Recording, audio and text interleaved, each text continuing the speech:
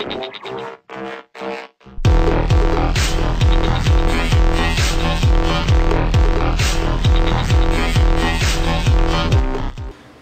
guys, in today's video I'm going to show you how to factory reset your Motorola Moto E. Uh, we're going to show you how to boot into, well, bootloader mode first and then into Android stock Android recovery. Um, there's also another way to do this within settings, but sometimes you can't get your phone to boot and that's why you're factory resetting it. Um, I'm going to show you how to do it in, in settings really quickly. You just go into settings and you just go to backup and reset and then you right here factory data reset. You click on it ask another thing to make sure you want to do it and then it factory data resets your device back to like when you took it out of the box.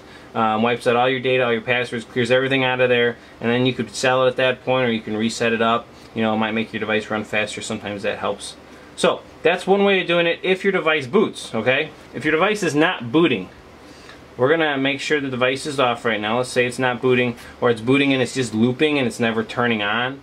Um, this is what you're gonna wanna do.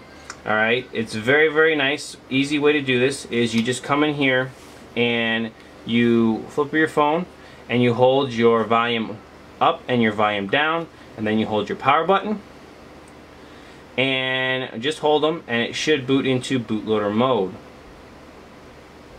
Alright, so here it is in bootloader mode. It does take a quick second to get into bootloader mode.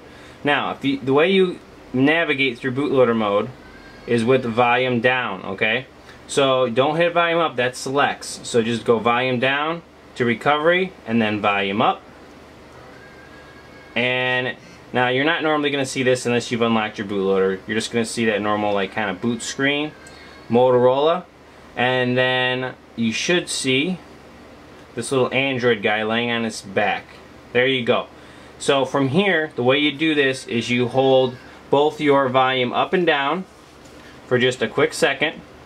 Hold them, keep holding them, and then hit power once. Jabam.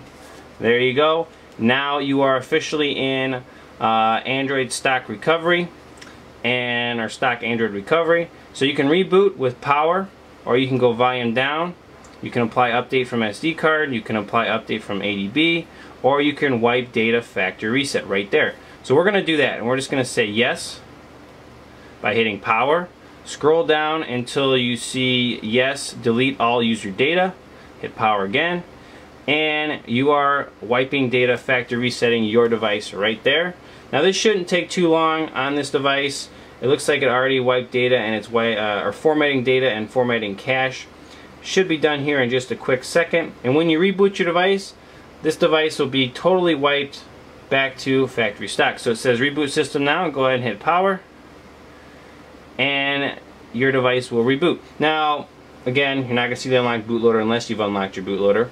But everything should be good to go from here. You'll have to reset up your phone, log into your Google account, download all your applications again.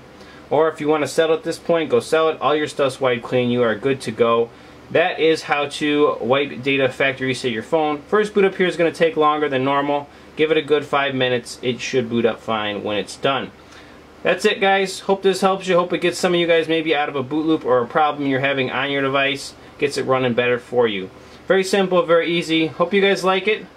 That's it. That's how to get into stock Android recovery, do a factory reset manually on your Moto E, Motorola Moto E. Hope you guys like this video, and we'll catch you guys in the next one. RootJunky out.